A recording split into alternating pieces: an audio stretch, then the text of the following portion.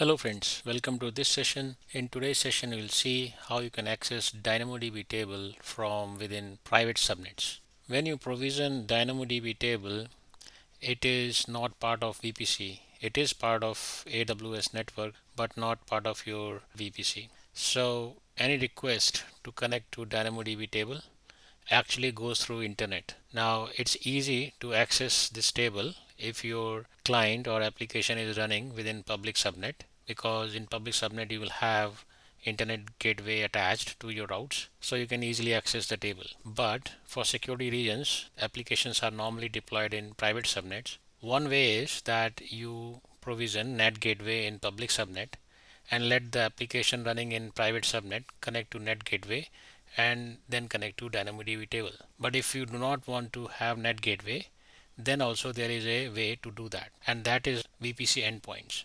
So we can create a VPC endpoint to connect to DynamoDB table from private subnet. So in today's demo setup, we'll follow this diagram.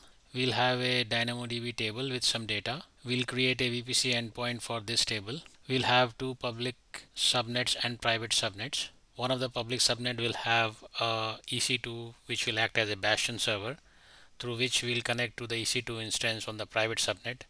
Our client which wants to access this table will be running on this EC2 instance and then we will try to see whether we are able to access data from this table without any NAT gateway just by using VPC endpoint. So let's get started.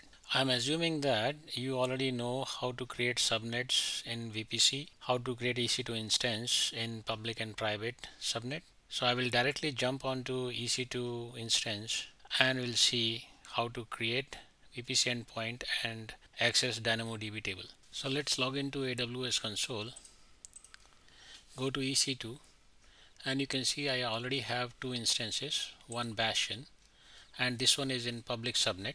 It has got a public IP address for it and here you can see the subnet which is pub public. And another one is EC2 test private subnet which has only private IP no public IP to it.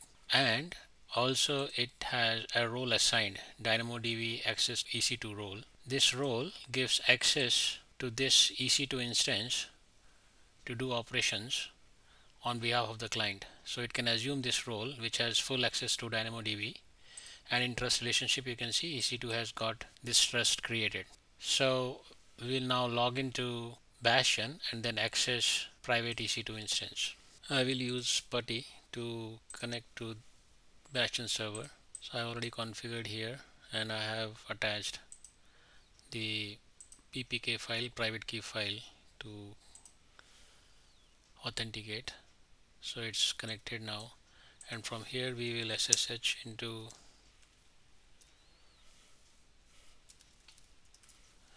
our private is private instance. So we are in.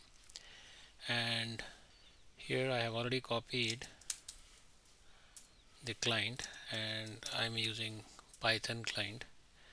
So you can see these are the scripts. And the first script which is this one this script will create a DynamoDB table by name try dex table. So we'll try to run this now. So let's see what happens when we try to run this script which will try to connect to DynamoDB service to create a table. And you see it's not doing anything right now. And the reason being the instance is in private subnet. There is no NAT gateway. DynamoDB is sitting outside VPC so th there should be a connection through internet which is not possible right now. So we'll go back to AWS console and we'll create VPC endpoint for DynamoDB service now. So let's go back to AWS VPC under VPC endpoints create endpoint let's call it DynamoDB endpoint. Under AWS service search for DynamoDB select and this is the gateway. Select the VPC and select the route. So I will select the private route. I will provide full access. You can actually create as required the custom access create endpoint and it's immediately available. So we'll go back to our putty connection. And here see the connection is immediately made now and it is trying to create the table. So you can see table is created. Let's see other scripts. So another script is to create some data so we'll create some data into this table. So it has created data. Now we'll try to query this data. So this will get the items from the table. And you can see it immediately gets the data as well. So that's it for this session it is easier to use VPC endpoint to access DynamoDB table and that secures your connection and keeps the traffic within the AWS network. I hope this will help you to set up your VPC endpoint. We'll see you in next session. Thanks for watching this.